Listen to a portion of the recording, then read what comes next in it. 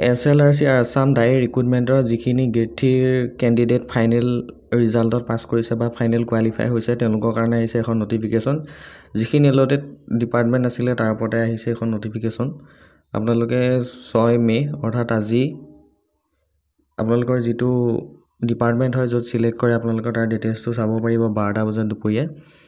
Grade থ্ৰীত প্ৰায় এঘাৰ হেজাৰ পাঁচশ দহটা পষ্টত কোৱালিফাই হৈছিলে টোটেল কেণ্ডিডেট আৰু তাৰ ওপৰতে আহিছে এখন অফিচিয়েল নটিফিকেশ্যন আহিছে এখন এছ এল আৰ চি তথা ষ্টেট লেভেল ৰিক্ৰুটমেণ্ট কমিশ্যন বোৰ্ডে ৰিলিজ কৰিছে গ্ৰেড থ্ৰী পষ্টৰ ওপৰত। আৰু যিসকল কেণ্ডিডেটে এপইণ্টমেণ্ট লেটাৰ পাব তেওঁলোকৰ যিটো এলটেড ডিপাৰ্টমেণ্ট হয় য'ত এলাউ কৰে সেই ডিপাৰ্টমেণ্টৰ ডিটেইলছটো বা ভিউটো তেওঁলোকে আজি দুপৰীয়া বাৰটা বজাত যিটো অফিচিয়েল হৈছে আছাম গভৰ্ণমেণ্ট ডট ইন আৰু ছেবা অনলাইন আৰ জি তাত গৈ পিনি তেওঁলোকে ডাউনলোড বা যিটো ডিটেইলছ হয় সেইটো ভিউ কৰিব পাৰিব। তো এতিয়ালৈকে লিংক এক্টিভেট হোৱা নাই যেতিয়াই লিংক এক্টিভেট হয় আপোনালোকে ইয়াতে যিটো লিংক দিয়া আছে সেই লিংকটোত পাই যাব। ডিছক্ৰিপশ্যনত লিংক দিছোঁ।